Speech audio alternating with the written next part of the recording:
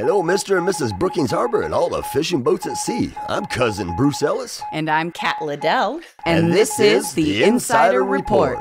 So let your ears do the walking as we fill you in on what's going on in the Brookings Harbor area and beyond. Beyond. Well, hello, hello, hello, and welcome to this week's show that keeps you in the know. Hiya, Kat. You Hey, made it through hey. Halloween okay? I made it through Halloween. I just had my anniversary weekend. Oh, with hey, Jason. Yeah. congratulations. Mhm, Okay, mhm. there Yep, two go. years cotton anniversary. So you know, it wasn't like you know a big like blowout or anything. But we went shopping for uh, for new sheets. We got like comfy new sheets and, and got some really nice yeah I gotcha. nice new bath towels and stuff. I was gonna say was matching like, pajamas. nah, nah, we're not the matching pajama- pajamas Cotton. kind of people. But but I was like, I'll take any excuse for a new set of bath towels. like Yeah, that's no doubt, yeah. Yeah, went, went had a nice dinner at Black Trumpet. Oh, and, okay, and cool. we we heard the dulcet tones of Patty and Acuna, and so we went downstairs to Misty Mountain and. Her and uh, doing PA and T Roy were playing, so we got to have some good music too Yeah. after dinner. It was a good time. Oh yeah. man, you got what you could do that Saturday night thing? Yeah, yeah, yeah, groovy, mhm, right on. Well, congratulations, two years already, huh? Know, Wow, right? geez, Yeah, yeah, two years Just seems like you were up there checking out your uh, dress and all that stuff when you ran up to. I know. yeah, Medford or Grants Pass there that time. Oh wow, How the time flies. it does when you're having fun. There you go. What, uh, so that's what you did this weekend. So then just relax the rest of the weekend. huh? Yeah, just had a nice quiet weekend together, Yeah, and that's yeah. exactly what we needed. So it was deal. good. It was good. How about you? Oh, you know, we had a hectic Halloween. See, Beth always did the haunted house. So she never was at her house during Halloween. Her daughter was for, you know, a couple of years and stuff, would hand out the candy and she'd tell her that it was crazy sometimes and everything. Hmm. But Beth never got the gist of it until this year. And we walked around the neighborhood ourselves mm-hmm. and we just saw like, I mean, I saw cars parked down the parking lot. I mean, this was a scene, you know, everybody, this has been going on for years in that neighborhood. She just didn't know about it. I didn't know about it. I always mm-hmm. took them around the school and everything. That's where we went, you know, but mm-hmm. this is up Third Street and all them streets up there. Mm-hmm. People like were coming up to the doors in like 20s, you know, boom, boom, boom, boom. Hit. It must have been a thousand people. Show candy. We she had a one of them big old cauldrons, black cauldrons, was filled with candy to the top. And at first we were just giving out, you know, handfuls, going ha ha ha. ha. Got about halfway down, and all of a sudden, like groups of 20 coming up to the door at a time, you know, boom, boom, and you see the other ones walking across the and so, yeah, I say it dropped down to one uh, after we got about three quarters down the dang thing. Oh, it was crazy, but. Yeah. Uh, but Junior, yeah, he did good. He had a great time and everything like that, and Mm-hmm. uh, it was fun. But like I said, it was crazy out there. I mean, uh, I guess it's something they do, you know, because the swimming pool. and That park is there, you know, the skating park and Mm-hmm. Right. everything's right Yeah, there. huge and they park area. Mm-hmm. right in there, and somebody actually is in there giving them lights. So I knew this is like, oh, this is a yearly thing. You Yeah. Mm-hmm. this is like, yeah. And people were, they were staged together, like in groups going to, oh, it was wild. It Mm-hmm. was wild. So that was crazy.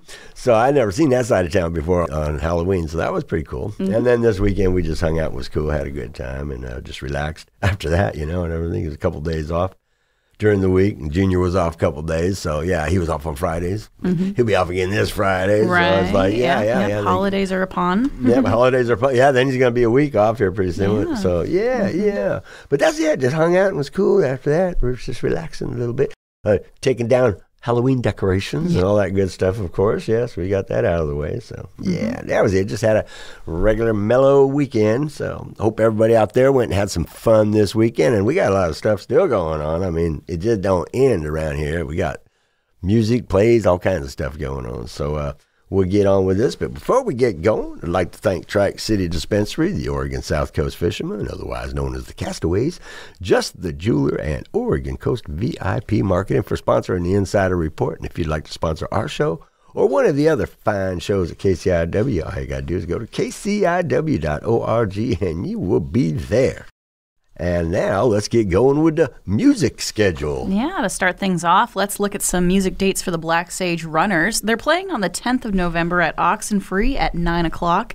And then on the 11th, they'll be at Mr. Ed's in Port Orford. Music up there starts at 7. Yeah, I got to meet the guys and everything. When the person hit me up, they wanted to promote it, and they go, "What I got to do?" And they asked about them, and I was like, "You know what? They came down and pinch hitted for us at one of our events, like something something we had going on, and Sure. they were there playing somewhere else, and we hired them for that night, but they weren't in the promo, you know, or anything. Oh. I'm pretty sure we had them. Those, it's mm-hmm. the three guys. They were really good. They were hmm. really good. Yeah. Hmm. So that's very cool. That's very cool. Hey, we got Misty Mountain Brewing going. They got on the 18th and the 21st. Mr. Lon Goddard, he'll be playing from six to eight. Yeah. Yeah, and up at Tortuga Mexican Bar and Grill on the 10th, PA and T Roy will be playing from 6 to 8. Then on the 17th, Lon Goddard will be playing from 6 to 8. And on the 25th, Black GTO will be playing again from 6 to 8. Yes, indeedy. In, in Ateca, they've got the Red Hot Sham coming on the 10th at 8 p.m.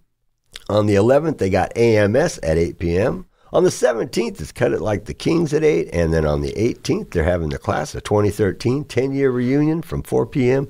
to 10 p.m. That's going to be a long party right there. The horrifying thing for me is realizing that that means it's been 15 years that I've been out of high school. Yeah.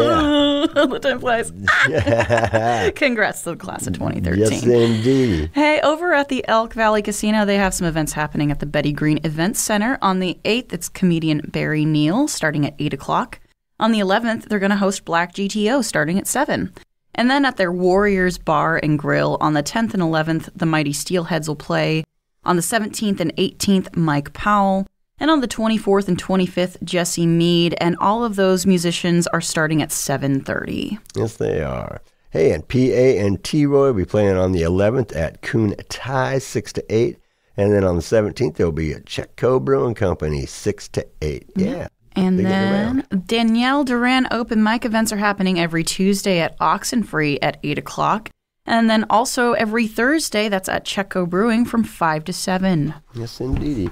Hey, and the Tony Land Band, they'll be playing on the 18th at Coon Tai from 6 to 8. And then the Mighty Steelheads are going to be playing on the 10th and 11th, again at the Elk Valley Casino, starting at 7. And then on the 18th, they'll be at Port O'Pints in Crescent City at 8 p.m. Yeah, and hey, forget about it. It's the Italian guys. They'll be playing on the 25th at Coon Tai, 6 p.m. And then Ranch Party is playing on the 17th at Kuntai. Music they're running from 6 to 8. And Mike Powell will be playing on the 17th and the 18th at 8 Elk Valley Casino at 7.30. And Cisco and Daltrey are playing on the 8th and the 29th of this month. They're going to be at the Chetco Activity Center in the daytime, playing from 11 a.m. to 1.30 p.m. That's right. A little afternoon lunch uh, music. Yeah.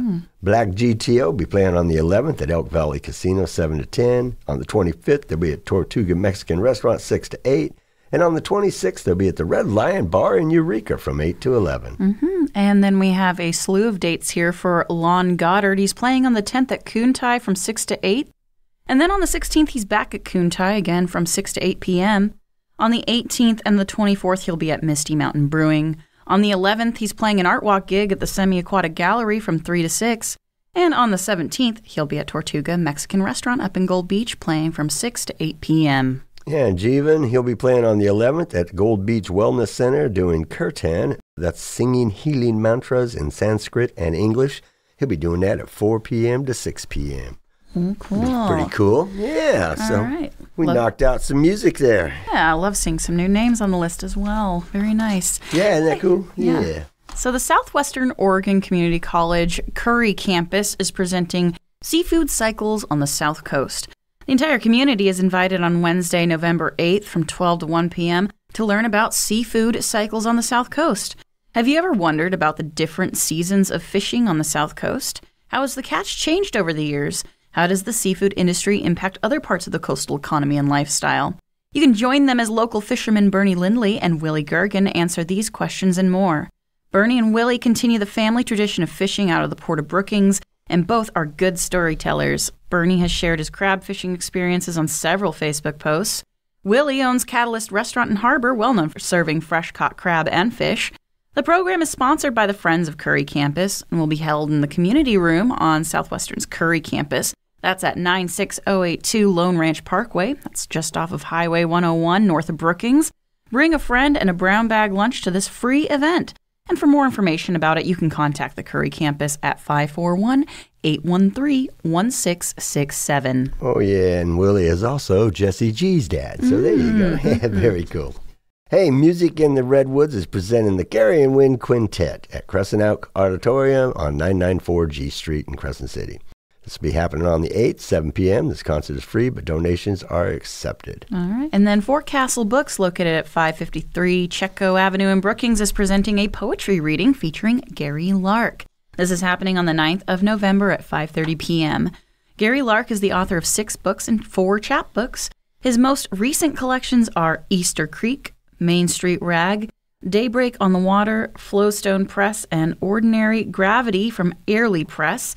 His work has appeared in over a hundred journals, including Beloit Poetry Journal, Rattle, and Sky Island. For more information about these poetry readings, you can contact Michael Spring at 541 450 1115. That's right. Hey, and the 53rd annual Brookings Harbor Community Bazaar will be going on again at Azalea Middle School Gym and Brookings Harbor High School Cafeteria in the corner of Pacific and Pioneer Streets in Brookings. This will be happening on the 11th from 9 a.m. to 4 p.m. There is no admission charge. Over 95 vendors with quality handcrafted items. Yeah, there All you right, go. All right, you got a jump start on your holiday shopping for Absolutely. a good cause. Yep. hmm And then they have some information here from the Manley Arts Center about their featured artist for November. So the Manley Arts Center in Brookings, Oregon, is featuring new works by abstract artist Elizabeth Roberts. This is happening through the month of November. Also featured for the holiday season is an expanded selection of local fine art and artisan gifts, including handmade ceramics and pottery, wood and fiber crafts, jewelry, exquisite paintings, and limited edition signed prints at bargain prices. The Manley Art Center will hold a reception during Art Walk on November 11th from 3 to 6 at the gallery, where food and wine will be served. You can stop in early for best gift selections or anytime now through December to get exclusive art treasures for every budget. Zoe West's new paintings are from her Life Form series, where she describes as organic abstract representing thoughts, emotions, motives, and ideas at the molecular level. The intangible working of our mind and inner being rendered in colorful probabilities. And local art historian Pete Chaser will conduct the interview on November 11th at the Art Walk. Guests can meet and talk with the artist directly and watch the mudslingers prepare their ceramic masterpieces, which will be featured at the Manley Art Center in December. Yes, indeed. Hey, the Brookings Harbor Garden Club is presenting grafting with John Savage. This will be happening on November 16th at 11 a.m. Doors open at 1045, and this will be at the Chetco Public Library, 405 Alder Street in Brookings. 1991, John Savage contacted UCSC Santa Cruz Agricultural Department to inquire about fruit tree grafting and was directed to an organization called California Rare Fruit Growers Association. He has been a member of that organization since. John learned how to graft the following year and has grafted several hundred fruit trees. He will be discussing the different methods of grafting, information relating to grafting, grafting tools and materials, preparing for the grafting day, as well as demonstrating a couple of grafting techniques, and admission is free for this. All right. And hey, the Party Girls of Del Norte and Curry County are having another Quarter Craze benefit auctions. They're presenting a very merry Quarter Craze for Santa's Workshop. This is going to be happening at the Elk Valley Casino on the 17th of November from 5:30 to 9 p.m. You're invited to come out and help support this wonderful organization. Bring a stocking stuffer, tape, or wrapping paper for a chance at the magic paddle. Dress festive for a second chance. Dessert is available by donation, and dinner is available from the Warriors Bar and Grill. This event is for people ages 18 and over. You can help give Santa's Workshop a big boost for the holiday. There you go. And now it's time for quotes from famous people with Cousin Bruce. Yeah, sticking on the birthday theme, here are a few quotes from Prime Minister Winston Churchill. He was born on November 30th, 1874. He says, Success is not final, failure is not fatal. It is the courage to continue that counts. Everyone has his day, and some days last longer than others. I can relate with that one. Personally, I'm always ready to learn, although I do not always like being taught. And last but not least, if you're going through hell, keep going. Hope you enjoyed this week's quotes from Winston Churchill with Cousin Bruce. Till next week, have a great one. Some days are longer than others. I'm Yeah. just so tired, guys. oh, Winston. Winston, he had some good ones. Yeah, yeah, very pithy man. Hey, there is CPR, AED, and first aid training happening at the Del Norte Child Care Council. That's at 212 K Street in Crescent City. This is going on on the 18th of November from 9 a.m. to 5:30 p.m. There are going to be breaks in between. This course will prepare you to recognize and take care of a variety of first aid, breathing, and cardiac emergencies involving adults, children, and infants. The cost is $65 per person, and for more information about the course, you can contact Angela at 707 464 8311, extension 224. Yep, and Chetco Activity Center, located at 550 Chetco Lane in Brookings, is having a rummage sale. This will be happening on November 18th, 9 a.m. to 3 p.m. Of course, it's holiday themed with baked goods, candies, holiday decorations, arts and crafts, hobbyist items, and a whole lot more. So there you go. Great. All right. And the Brookings Elks Lodge is going to be hosting a Gala by the Sea Yes. night at the Elks event on the 18th of November from 5 to 10 p.m. The Brookings Elks Lodge is thrilled to announce their upcoming November Gala by the Sea night, a night of elegance and philanthropy. You can treat yourself to a delectable evening with your choice of prime rib or chicken cordon bleu, lovingly prepared by their skilled catering team. And there is a vegetarian option available. You can dance the night away to the beats of their live DJ, ensuring a lively and enjoyable atmosphere for all. Refreshments are available at the No Host Bar, offering a selection of your favorite drinks throughout the night. You can discover unique treasures and incredible experiences at their silent auction, where your bids will directly contribute to their noble cause.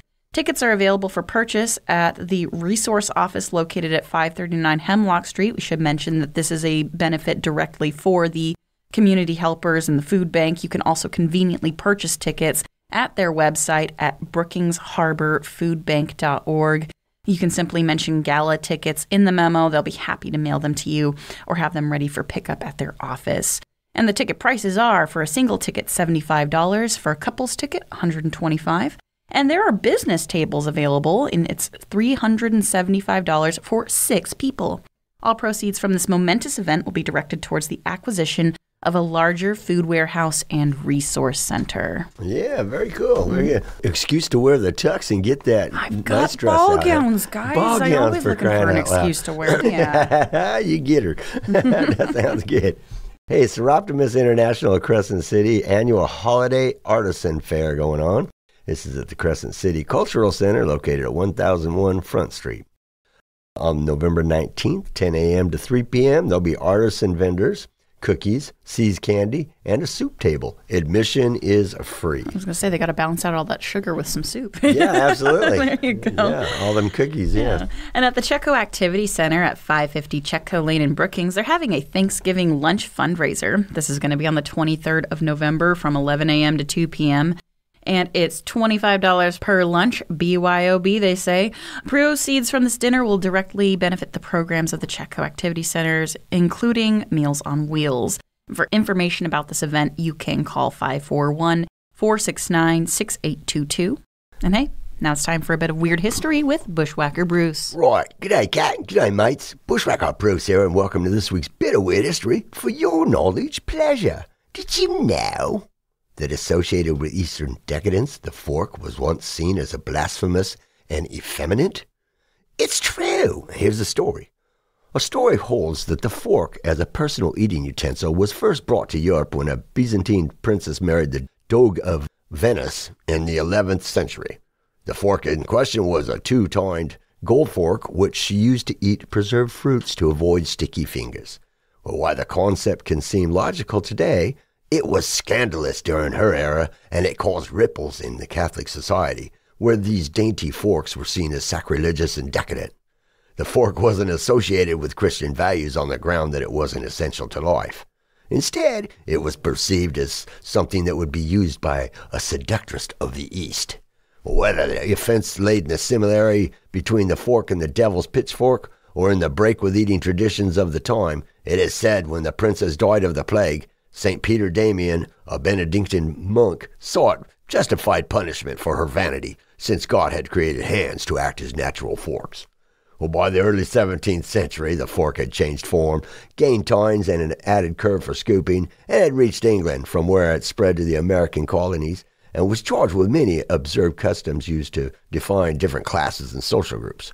By the 19th century, the fork had taken over and dominated the table in the Western culture, leaving the knife and the spoon in its shadow. Hope you enjoyed this week's Bit of Weird History with yours truly, Bushwhacker Bruce. Till next time, keep it real, but always keep it weird.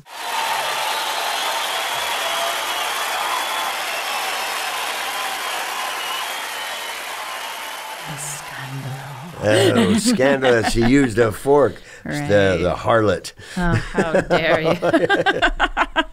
Jezebel used a fork. I know, right? Holy Toledo. Yeah, no, only pure people have dirty yeah, fingers. Yeah, use your fingers. All right, and moving you don't know where your right fingers along. were back in those days, so there you go. Yeah. Hey, the Elk Valley Casino is presenting Josh Heinrichs. This is happening on the 25th. Doors opening 7 p.m. Show starting at 8 p.m. Josh Heinrichs is an American reggae singer songwriter who was the former lead singer of internationally known indie reggae band Jah Roots and current owner operator of the indie reggae record label Ganja Records. Since leaving the band in 2008, Heinrichs has launched a successful solo career and has released several albums, including a number one Billboard charting release with Good Vibes in 2016. Now, this is happening at a casino, so you must be 21 or older to attend. Tickets are available exclusively through eTix. Yeah, I'm thinking Jah Roots, man. I remember that, that was like a few years back. Those guys, yeah, mm-hmm. yeah. There you go. Hey, and they got Nature's Coastal Holiday and Brookings Harbor Chamber of Commerce is presenting the Festival of Lights opening night at Azalea Park. This is a ribbon cutting with Santa Claus.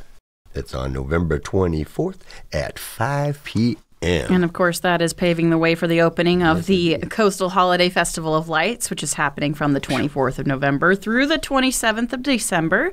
And that's happening 5 to 9 p.m. every single night. It features sweets, treats, and entertainment, hundreds of light sculptures, and adults can get in for $3. Kids 12 and under get in for free. And there are Santa visits happening every Friday and Saturday from 6 to 8 p.m. Yes, indeedy. Hey, and Lucky Seven Casino is presenting Livin' Lovin' Led, Led Zeppelin, the tribute band. This is happening November 25th at 8 p.m. Get ready to rock out to the legendary sounds of Led Zeppelin at the Lucky Seven Casino and Hotel on Saturday, November 25th in the Tolowa Event Center. The tribute band brings the songs of Led Zeppelin to life. From Stairway to Heaven to Kashmir, get ready to experience the magic of Led Zeppelin like never before.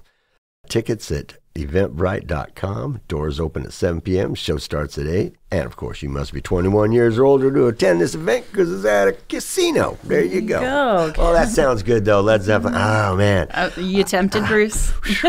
You know, when I was growing up, the Yeah. only way that I could have seen them was um, go to England. yeah. Was the only time, uh, you know. They, I think they quit their American tours in the late Yeah, '70s or whatever. Uh, you know, when I was Yeah. hitting the concert scene and everything at 18, 19, and yeah, yeah, yeah. So didn't get to see them. Saw a lot of other cool ones, you know, Fleetwood Mac and all them back in yeah. the day. Yeah, I saw originals, but uh, cool.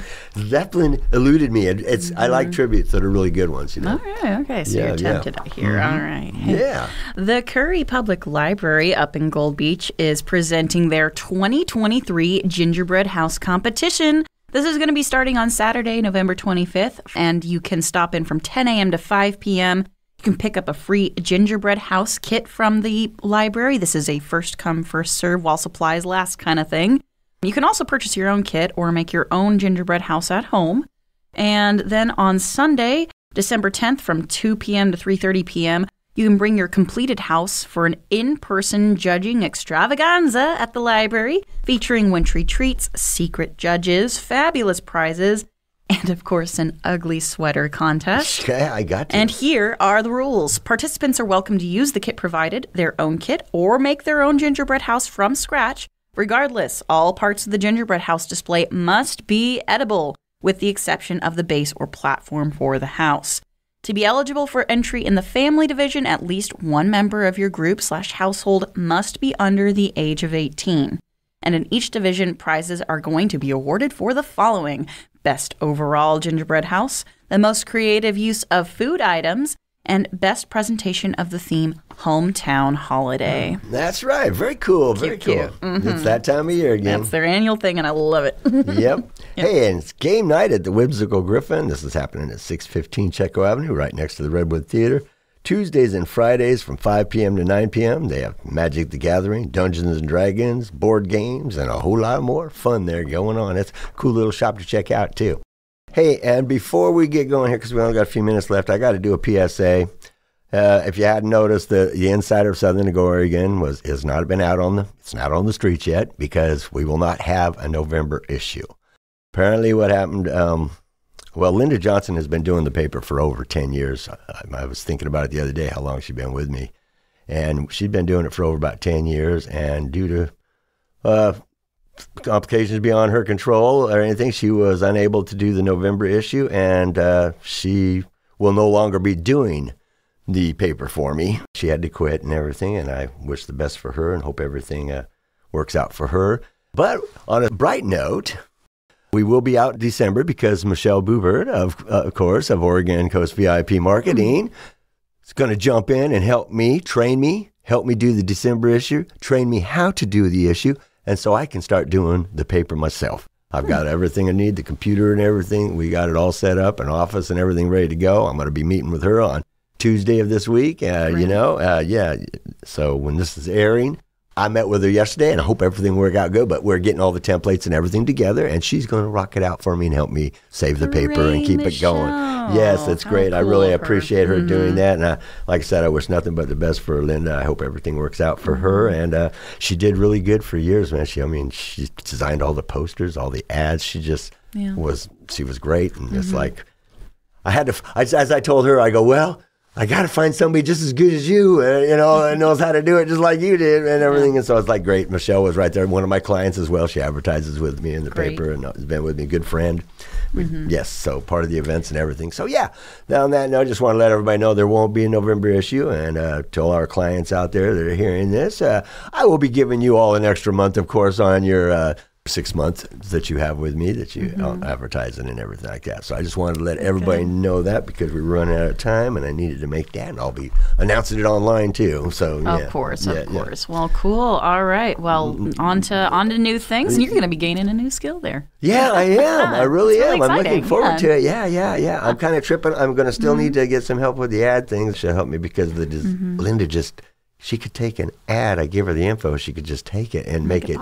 Everybody knows the paper. Those ads are all done by her. You know, so it's like. Mm-hmm. Yeah, so I'm hoping Michelle can help me in that area a little bit longer, you know. Yeah. we'll figure something out there. But Yeah. yeah, it's going to work out just fine. And it's like I probably should have done this years ago, at least known what was going on, just it for an emergency. So my bad, but we'll Well, get her. We'll get her. Getting it figured out. We'll There be right go. back in no time. Back and said, "Oh well, heck, we just talked ourselves right to the end." Yeah, I was going to say. so we're getting the flying fickle fairy here from the producer here. So we got to get going. So before we go, it's time to close out this week's show. I'd like to give a shout out to our fearless producer, brother Tom, for all his great work making us look and sound good on the radio. I want to thank you all for tuning in to this week's Insider Report. And please make sure to tune in on a daily basis to KCIW 100.7 FM and listen to all the fine shows that they have to offer.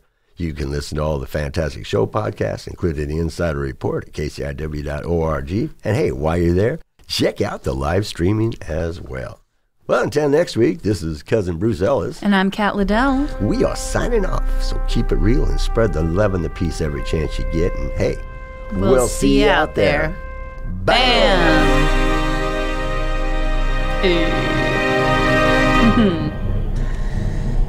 Yeah.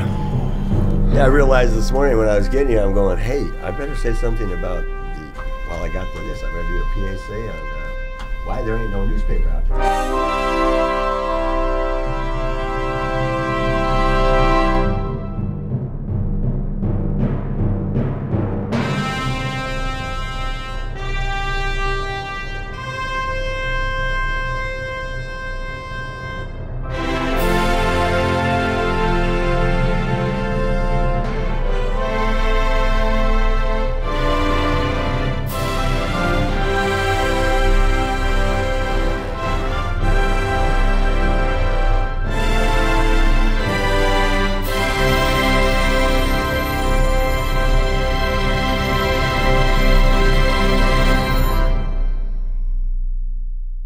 Music credits for the preceding show, go to kciw.org slash credits.